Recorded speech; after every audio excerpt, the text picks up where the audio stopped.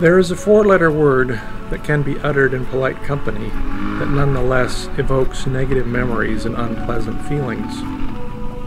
The four letter word I refer to is pain.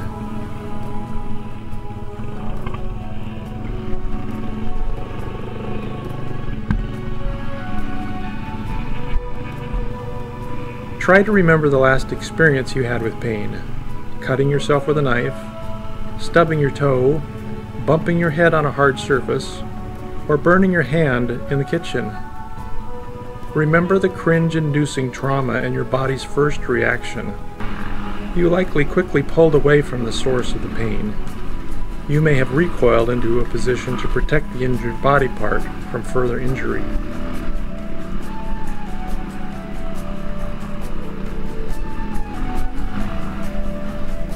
On some level, we all understand that pain is what physiologists and doctors call a protective mechanism, a warning sign that we are in physical danger.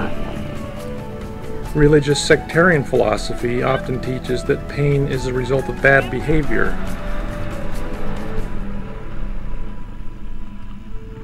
They teach that God inflicts pain on the sinner for his disobedience.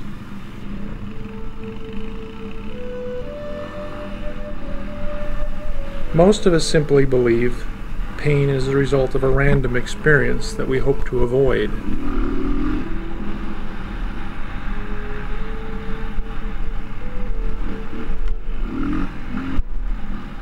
Since we all experience pain in our lives, we try to come to some understanding of why pain is so important. I recently had the misfortune, so I thought, to experience intense and significant pain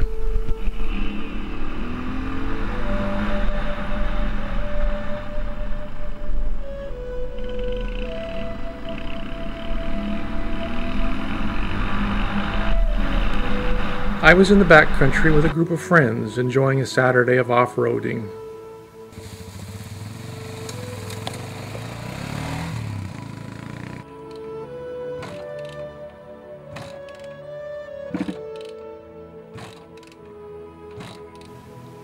I don't consider myself to be a risk taker, even though I have ridden off road motorcycles for years, and without any serious mishap.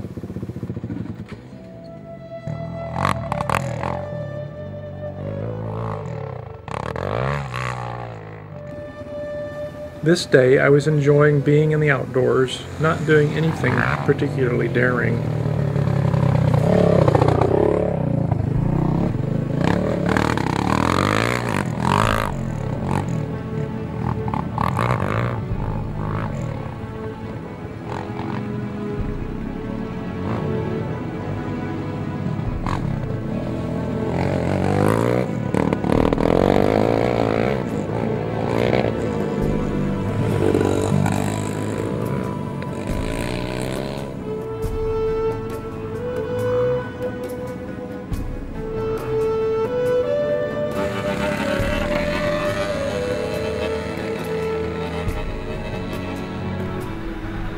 One moment I was gliding down a dirt road with little concern in the world.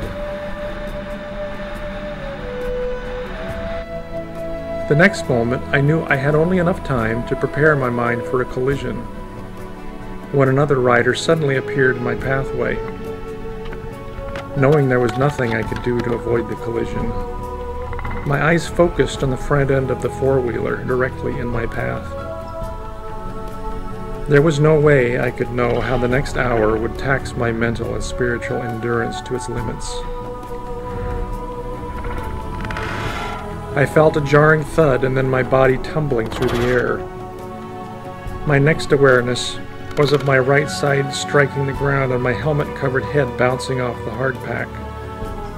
Being knocked unconscious would have been a welcome secondary effect, but that effect did not come. The next seconds became like hours when my right foot sent the message to my brain that it had been compressed between the side of the motorcycle engine and the metal frame of the ATV.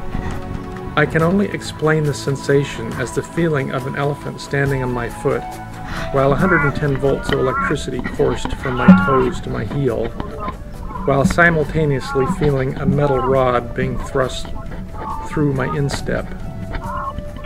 I writhed on the ground, yelling out. I was aware that several of our group were quickly there to help, but they hesitated as I struggled and strained. Nausea began setting in, mixed with desperation that something was seriously wrong with my foot. After a time, one of my friends, Ben, helped get me onto the back of his ATV and slowly rode me back to the car.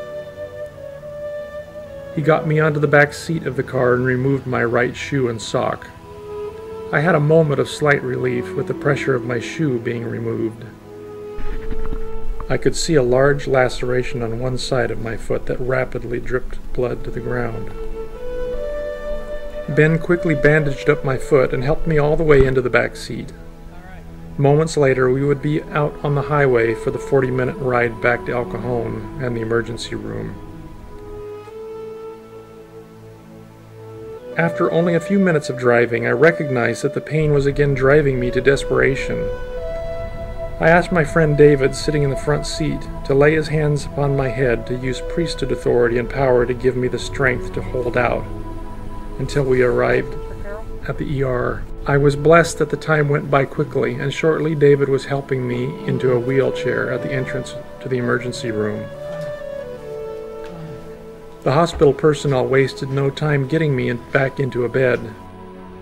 They asked a few questions and then approached my arm with the most welcome gift I can remember receiving in some time an IV needle followed by an intravenous dose of Dilaudid, which calmed my pain and my nerves.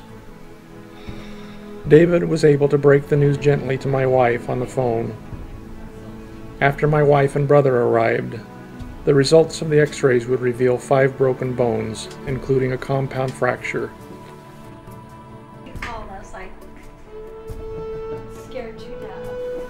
I would be scheduled for a surgical procedure shortly, and it seemed the worst was behind me.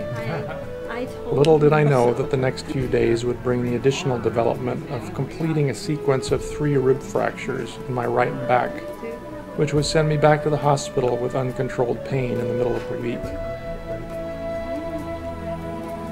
My injury and pain were not unique. There are many who have experienced worse than I. As I look back over the past two weeks, I've recognized something about this word pain.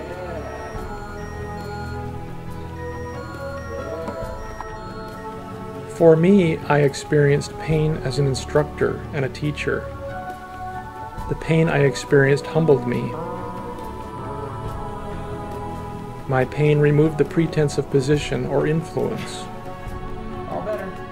My pain showed me that physical possessions have very little lasting value. My pain spoke in clear and plain language that I can depend on my family and my friends. Most importantly, my pain reminded me that God loves me, that He gave me life,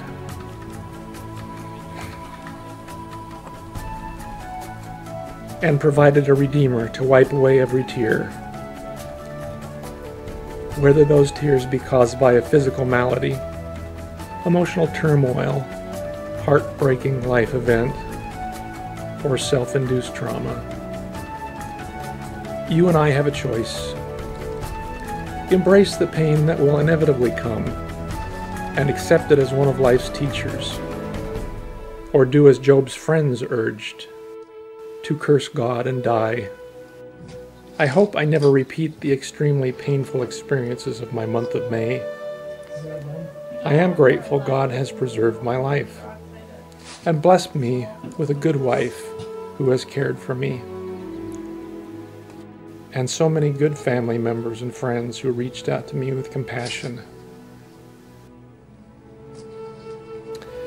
But if another painful episode waits for me around the next bend, I will be ready to be taught again. In the meantime, I'm resting more comfortably now. I am thankful for life's joys and pains because they are both part of the refiner's fire. The hammer and the anvil that will shape me into what God would have me be.